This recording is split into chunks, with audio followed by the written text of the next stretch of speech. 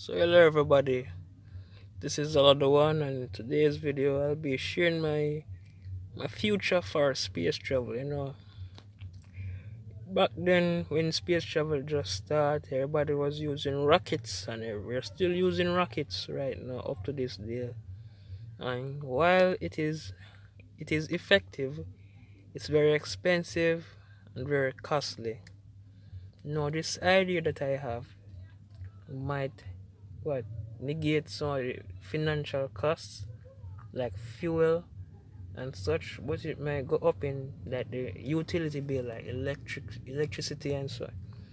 so in uh, in the grand aspect is that I create this gigantic slingshot that you can use for essentially slingshot the, the space shuttle into outer space it's like a, a gunner so you put it you, you load in the space shuttle and this this when you um, what do you call it now? Lock or trigger lock drag back there.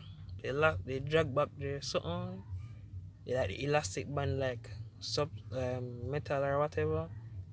You drag it back and you lock it into place. And when you lock it into place you power up the slingshot like say after one point up yeah some some you know, control tower from some some you know, some miles away will press the button for release. And when it release it fire off the space shuttle in by light light speed or light years in terms of speed in terms of light years. So it's very fast. Now the only drawback to this vision or or whatever I have is that it consumes a lot of electricity. Because when you drag it back and the trigger lock it it will and trigger lock it it will charge up the, the like the booster cause when it when it, when it in the momentum of the fire off the booster will get more speed and shoot it off even, even further.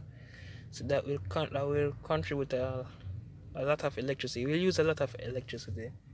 And another question, another this another downfall would be like when when it just fire off, they'll create a shock wave. The shock wave so massive it can shatter glass from some miles away. And my when it fire off too, it can like everything you fire it, it'll sink. Like the pressure were, were push back against it, it'll dig into the earth. So everything you use it, it might have go deeper than the earth. So you have, have some some reinforced foundation. So every time it fire off, it do sink. Do it, it does sink. So yeah, and and then the foundation is a very crucial part because you know want only um build it in a one place. You can only find a one direction. So the foundation is a 360 degrees foundation. That means that it can spin around. But that, that foundation have a very advanced it have to withstand the pressure of firing a space shuttle at light speed at light speed yeah.